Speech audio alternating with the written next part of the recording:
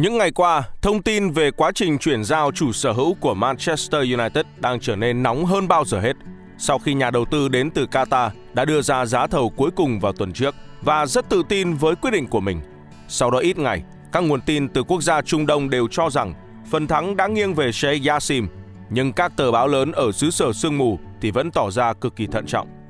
Và trong 24 giờ qua, hàng loạt thông tin tích cực lại một lần nữa xuất hiện – Tất cả đều hướng về Hoàng gia Qatar, nhân tố đang rất được cổ động viên mong chờ sẽ thay thế nhà Glazer.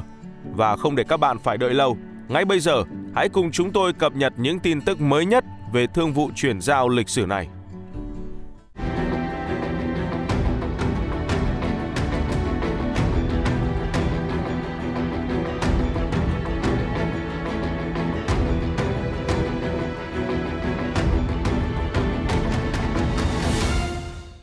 Cách đây một tuần, những tin tức về quá trình chuyển giao chủ sở hữu Man United lại bất ngờ xuất hiện trên khắp các phương tiện truyền thông xứ sở sương mù. Trong một động thái mới nhất nhằm giành quyền kiểm soát gã khổng lồ Premier League, Sheikh Yassim bin Hamad Al Thani đã gửi lời đề nghị trực tiếp tới chủ sở hữu câu lạc bộ. Gia đình Glazer và tập đoàn Rainy, chủ ngân hàng Mỹ quản lý thương vụ đổi chủ Phía Hoàng gia Qatar cũng đã ra tối hậu thư với những người có liên quan rằng phái đoàn đến từ Trung Đông sẽ chờ cho đến thứ Sáu ngày 8 tháng 6. Sau đó thì sẽ không có cuộc thương lượng nào nữa. Và nếu nhà Glazer không đồng ý bán quỷ đỏ, thì phía nước chủ nhà World Cup 2022 vừa qua sẽ rút lui hoàn toàn khi không có thêm bất cứ số tiền nào được đưa ra cho giới chủ người Mỹ nữa. Đây là lần đề nghị thứ 5 của Sheikh Yassim kể từ lần đầu tiên được tiết lộ vào tháng 2 đề nghị vẫn sẽ bao gồm toàn quyền kiểm soát câu lạc bộ và một khoản đáng kể nữa để đầu tư vào cơ sở hạ tầng cũng như công tác chuyển nhượng. Đối thủ cạnh tranh số 1 của Sheikh Yassim là tỷ phú hóa dầu người Anh Sir Jim Ratcliffe. Tuy nhiên, lời đề nghị của Ratcliffe là quá thấp so với yêu cầu 6 tỷ bảng của nhà Glazer. Ký giả uy tín Simon Stone còn cập nhật thêm những thông tin liên quan đến kế hoạch của Sheikh Yassim sau khi tiếp quản đội chủ sân Old Trafford. Thái tử một lần nữa gửi thư tới Glazers và nói rõ quan điểm của mình. 100% cổ phần của Manchester United đứng ra trả nợ thay nhà Glazers, cùng với đó là tiền tươi trả một lần. Cải tạo toàn bộ Aeon Training Complex và nâng cấp nhà hát của những giấc mơ với bản kế hoạch như đã trình lên trước đó trong buổi thầu đầu tiên. Nhóm đầu tư Qatar đã từng tỏ ra khó chịu với mức tăng gần 1 tỷ bảng để cuộc đàm phán có thể hạ nhiệt. Kể từ đó, các cuộc tiếp xúc giữa các bên vẫn tiếp tục trong bầu không khí ngày càng căng thẳng. Đội ngũ của Sheikh Yassim phàn nàn về sự thiếu lịch sự, bắt đầu từ việc các đối tác của họ đến họp muộn, sau đó là đòi tăng thêm tiền chi trả cho thương vụ chuyển giao này. Tuy vậy, vì tình yêu với màu áo đỏ thành Manchester cùng với việc quyết tâm đưa đội bóng trở lại đúng với vị thế của mình, Thái tử đã chấp nhận đưa ra giá thầu lần thứ năm. Tuy con số cụ thể vẫn chưa được biết, nhưng nhiều khả năng là sẽ ngang hoặc là hơn con số 6 tỷ bảng mà phía gia đình nhà Glazer mong muốn. Đó chẳng khác gì màn dằn mặt chất lượng từ quốc gia Trung Đông. Sau một tuần trôi qua, những thông tin vẫn đang rất mơ hồ. Trên mạng xã hội Twitter hay các tờ báo lớn ở Qatar thì cho rằng Sheikh Yassim là người đã giành được chiến thắng trong thương vụ tiếp quản đội chủ sân Old Trafford và những thông báo chính thức sẽ sớm được công bố khi hoàn tất các thủ tục cần thiết với chính phủ và câu lạc bộ. Theo nhiều nguồn tin, anh em nhà Glazers đã chấp thuận bán đội chủ sân Old Trafford cho Sheikh Yassim với giá 6 tỷ bảng Anh. Các thủ tục pháp lý đang được thực hiện và thông báo chính thức sẽ sớm có trong ít ngày tới.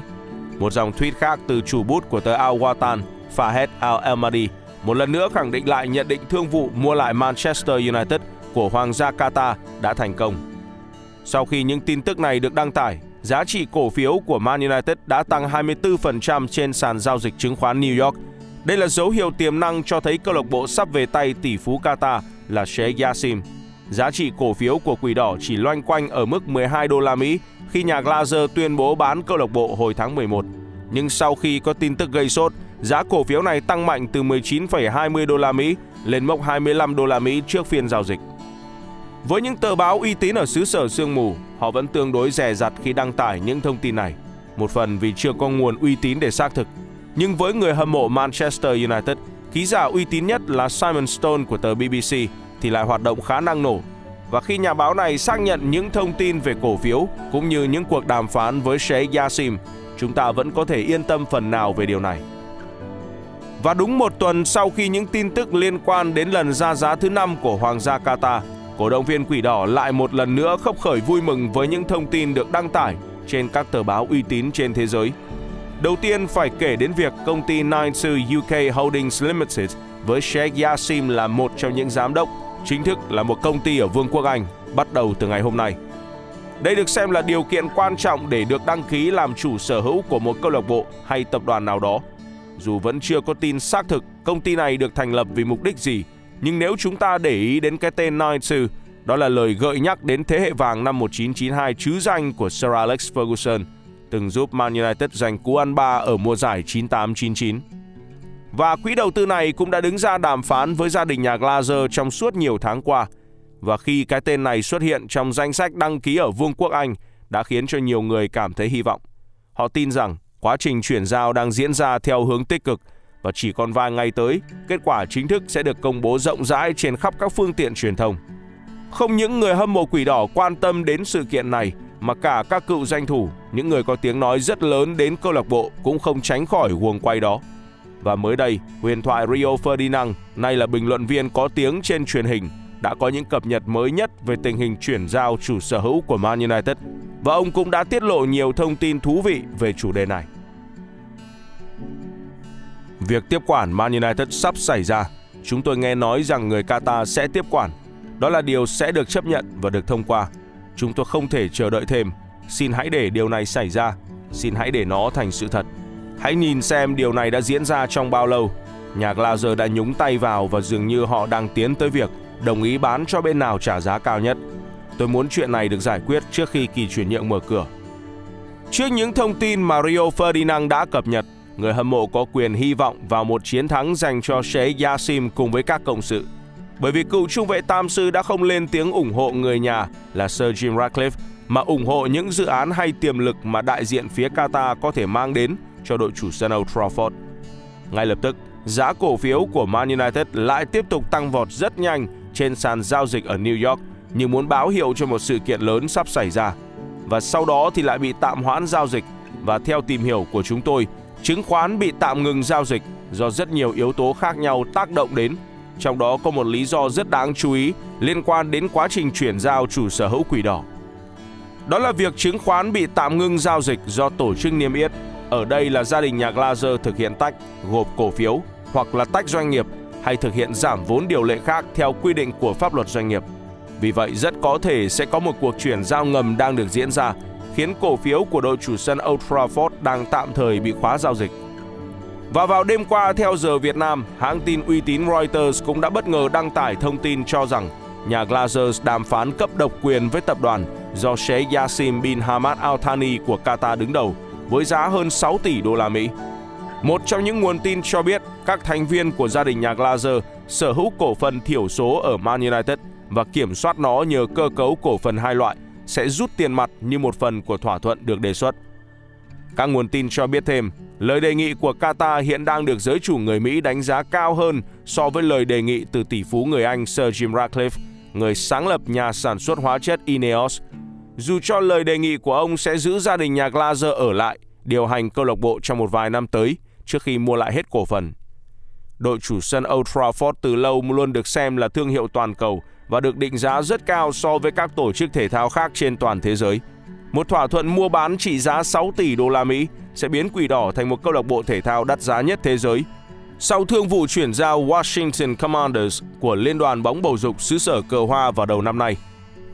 Cổ phiếu của Manchester United cũng ngay lập tức tăng gần 15% sau tin tức này – Nửa đỏ thành Manchester sẽ không được phép đàm phán với bất kỳ nhà thầu nào khác ngoài Sheikh Yassim trong thời gian độc quyền. Vẫn chưa thể biết được khoảng thời gian này có thể kéo dài bao lâu, nhưng đây được xem là thông tin rất tích cực cho tương lai của đội bóng.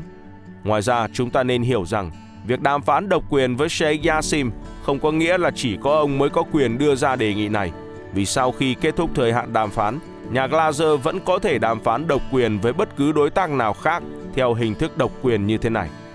Đó là lý do mà Simon Stone, nhà báo cực kỳ uy tín về tin tức liên quan đến Man United đã phản bác lại thông tin mà hãng thông tấn Reuters đã đăng tải. Ông cho rằng không có đàm phán độc quyền được cấp, tất cả vẫn chỉ là những buổi làm việc với nhiều bên, tức là chẳng có ưu tiên dành cho bất cứ đại diện nào.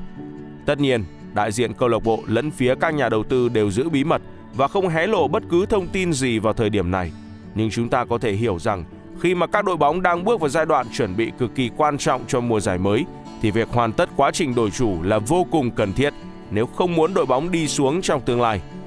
Vì thế, với những tín hiệu tích cực đã được phát đi trong thời gian qua, nhiều khả năng Hoàng gia Qatar đã lật ngược thế cờ và đang nắm giữ lợi thế trong quá trình đàm phán với gia đình nhà Glazer. Hy vọng rằng thương vụ chuyển giao lịch sử này sẽ sớm được hoàn tất để huấn luyện viên Erik ten Hag có sự chuẩn bị tốt nhất cho tương lai. Những thông tin tiếp theo sẽ được Random Football cùng với vũ trụ United cập nhật liên tục trong thời gian tới. Hy vọng rằng Man United sẽ chuyển mình mạnh mẽ sau thương vụ đắt nhất lịch sử này và một đế chế sẽ được trỗi dậy. Cùng với đó là rất nhiều điều đáng để chờ đợi trong mùa giải tới. Quý khán giả vừa theo dõi một sản phẩm của Random Football. Hãy cho chúng tôi biết cảm nghĩ của các bạn bằng cách để lại bình luận ở bên dưới. Nếu hứng thú với video này, hãy ủng hộ đội ngũ sản xuất của Random Football bằng cách nhấn like và subscribe đăng ký theo dõi, cũng như bật chuông thông báo để không bỏ lỡ những video mới nhất trên kênh nhé. Còn bây giờ, xin chào tạm biệt và hẹn gặp lại.